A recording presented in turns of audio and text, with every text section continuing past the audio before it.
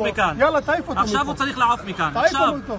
עכשיו הוא צריך לעוף אותם, מכאן. תעיף אותם עכשיו. נו, לך תעמוד במילה שלך. יאללה, כמו גברים, תעיף אותם עכשיו. יאללה, אני הולך להעיר לו, יאללה. מי שמשחק תקרא תקרא בכבוד של המת, כאן. מה, מי שמשחק בכבוד של המת אין לו כבוד.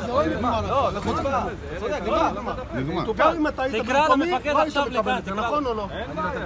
תקרא לפילו, תקרא לפילו. אז אל איך תיתן. קוראים לקצין תגיד לי נגמר, לא נגמר. תגיד לו, אני רוצה להיכנס איתו, רוצה לראות שהוא זה עכשיו, משם. זה ייכנס ל... לא עושה כלום, רק רוצה לראות. תגיד לו את זה. בוא, לאן אתה הולך? תסביר לקצין שלכם שאני רוצה לראות שהוא עף משם. אני לא מאמין לזה. תוציא אותם החוצה! תוציא אותם החוצה! ראית את הסרט! תתבייש לך! אתה נותן להם גיבוי! תוציא אותם החוצה! משחקים כדורגל על בית קברות, תתביישו לכם! זה ההגנה שאתם נותנים! זה הגיבוי שאתם נותנים, תתביישו לכם! אתה ופילו, תתביישו לכם! אין לכם כבוד! זה הכבוד שיש לכם! תתביישו לכם! צריך לסלק אותם מבפנים עכשיו!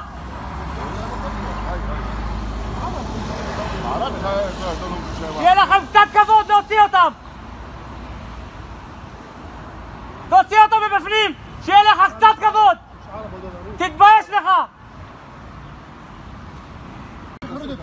רוצה לדבר עם הטרקטור, לא רוצה לריב. אתה רוצה לעבור או שאתה רוצה לדבר עם הטרקטור. זה כבוד. לפני שבועיים היה פה בית קברת היהודים, אף אחד לא דיבר איתם.